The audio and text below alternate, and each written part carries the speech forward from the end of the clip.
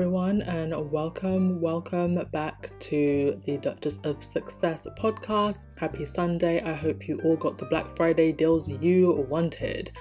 So, you all seem to really like my Princess Charlene video, and so I guess that's the green light for more videos on other royals. And it was actually in the comment section of that video that somebody suggested that I looked into Princess Märtha Louise of Norway, and oh la la, my girl is with a brother, an American shaman called Durek Verrett. A shaman, if you don't know, is a type of spiritual healer. So I'm going to give a bit of a background on the princess and then on Durek and then discuss what the reaction in Norway and in the media has been. So, Princess Märtha Louise of Norway is the only daughter of King Harald V and Queen Sonja. She is fourth in the line of succession to the Norwegian throne, and she was formerly married to the late writer and visual artist Ari Behn from 2002 to 2017. The couple had three daughters together, all of whom are untitled.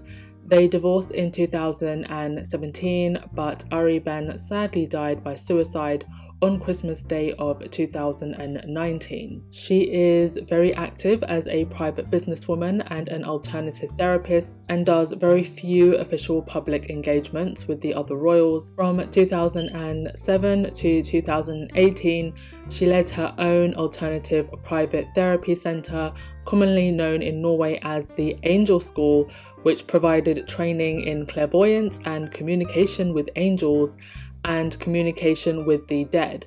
She herself claims to be a clairvoyant. In May of 2019, she publicly announced her relationship with Durek, and as part of her withdrawal into private professional life, she lost the style Royal Highness, sound like anyone we know, in 2002, and she holds no style in Norway.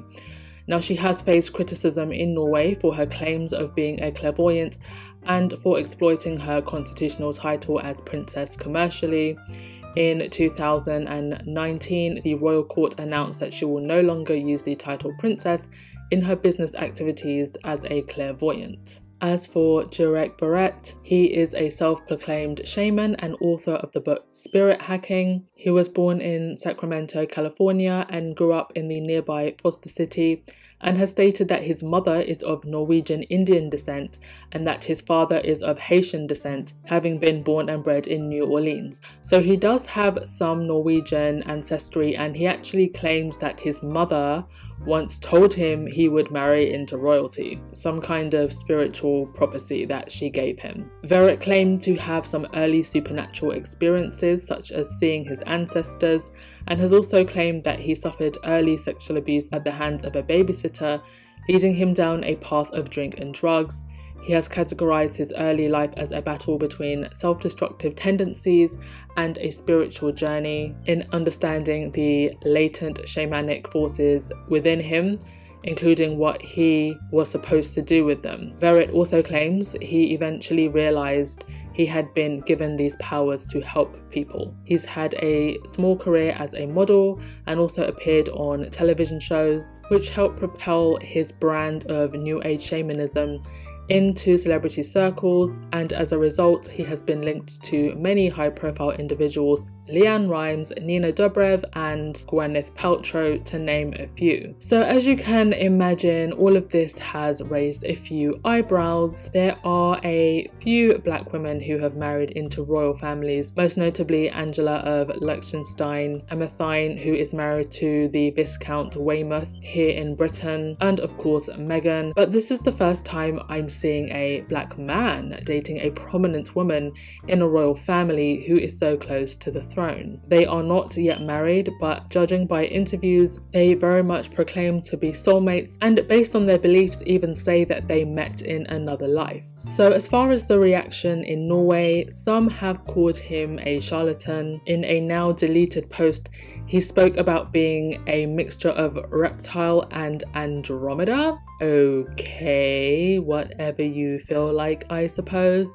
But as you can imagine, many in the Norwegian media were quick to jump on these weird statements, and the palace attempted to distance themselves from them. According to Princess Märtha herself, some friends have distanced themselves from her, and she has had to cut other people out of her life. I think it's worth noting that Norway is an incredibly homogenous country, so most people are not directly exposed to those from other cultures, and their only exposure would likely be mainstream culture, which is not a very balanced perception of people of colour. Some people have also given him the cold shoulder due to his sexuality. His longest relationship prior to Princess Märtha was with a man, although, when asked about his orientation, Verrett says that he doesn't like to label himself as gay or bisexual, and he has always been just searching for a real soulmate, and their sex doesn't matter. Princess Märtha took to her Instagram page posting being Shaman Durek's girlfriend has given me a crash course in how white supremacy is at play and the way I have consciously and subconsciously thought of and acted towards black people, how I have taken my rights for granted, never looked properly at what racism is, because it has been comfortable for me that the system is in place. She also said in another Instagram post on their relationship to those of you who feel the need to criticize, hold your horses. It's not up to you to choose for me or to judge me. I don't choose my man to satisfy any of you or the norms or boxes you have chosen in your mind for me to be in. I don't thrive there, nor do I exist in your illusion about me. I choose from love, and that's it. You, she told them. So it would appear that we have another royal who wants to go her own way and do her own thing. She's also said in the past that she never really felt royal, and she's obviously going the more celebrity route which I don't blame her for. If you can get all the benefits of being a well known person who can use your name without being bound to stupid royal protocols, I say go for it. And like other royals who have stepped down, she had to give up her HRH title but she's gained her freedom. To me, it looks like she hasn't really lost anything. Both of them are into the whole spiritual thing. They have a celebrity clientele and they're obviously happy being in front of the cameras and seem to be ready to do the celebrity hustle life. They actually did a television interview, which I will link to below. It's quite interesting the way they both speak. Spiritual gurus can earn millions if they play their cards right, so they won't be strapped for cash, I don't think. The self help industry is a billion dollar industry. They can make their own money, she's not living off the taxpayers' purse strings, and I just see this as the trend going forward for most royals, especially the young ones. I'll also put a link in the description box to a feature that Vanity Fair did on them. They actually participated in the feature and were interviewed for it themselves. So it's a very interesting and at times eyebrow raising read. Comment below with your thoughts on that and any more information you might have on either of these two. I tried to go in as much depth as possible without dragging out the video, so sometimes I do miss things. So let me know what your thoughts are. Don't forget to like, comment, share, and subscribe, and I'll see you in the next one, my lovelies. Ciao!